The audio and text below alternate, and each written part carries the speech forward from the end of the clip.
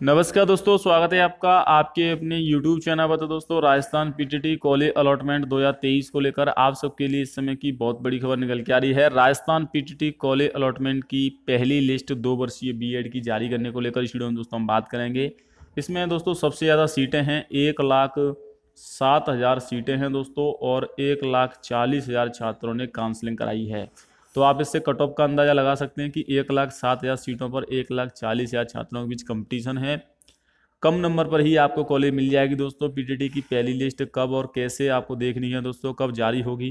पूरी जानकारी आपको वीडियो मिलने वाली है। चार वर्षीय बीएड की दोस्तों पहली लिस्ट कल जारी हो चुकी है और सीटों के मुकाबले दोस्तों कम छात्रों ने काउंसलिंग कराई थी। अगर मैं चार वर्षीय बीएड की बात करें दोस्तों, यहाँ पर आप देख सकते हैं, चार वर्षीय कोर्सेज में प्रवेश के लिए चौंतीस हज़ार सात सौ तिरपन विद्यार्थियों ने काउंसलिंग कराई थी या रजिस्ट्रेशन कराया था। इनमें से बत्तीस हज़ार नौ सौ बावन, लगभग तैंतीस हज़ार छात्रों को कॉलेज मिल चुकी है पहली लिस्ट में और सेकंड लिस्ट में सभी छात्रों को कॉलेज का आवंटन हो जाएगा। जैसा कि मैंने आपको बताया था कि दोस्तों, चार वर्षीय बीएड में बहुत ही कम छात्रों ने काउंसलिंग कराई है। टोटल सीट तैंतालीस हज़ार प्लस हैं दोस्तों और काउंसलिंग कराने वाले छात्रों की संख्या चौंतीस हज़ार है।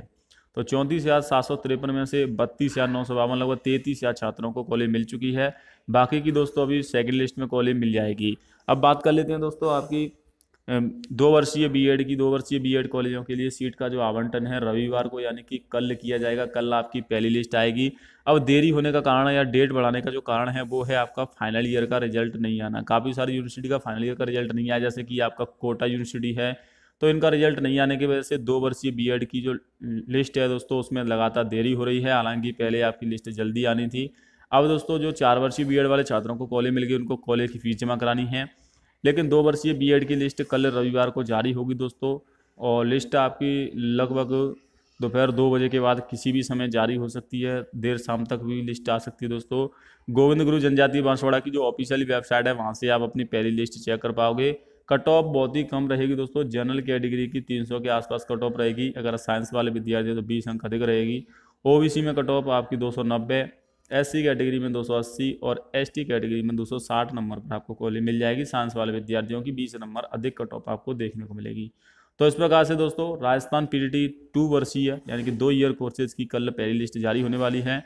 एक लाख सात हज़ार सीटों पर दोस्तों एडमिशन होगा। यहाँ पर आप देख सकते हैं बी एड में नौ सौ इकतालीस, नौ सौ चालीस कॉलेज हैं।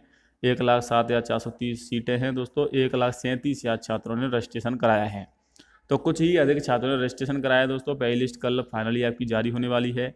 अपने नंबर ज़रूर कमेंट कर देना दोस्तों, मैं आपको रिप्लाई दूँगा कि आपको कॉलेज मिलेगी या नहीं मिलेगी।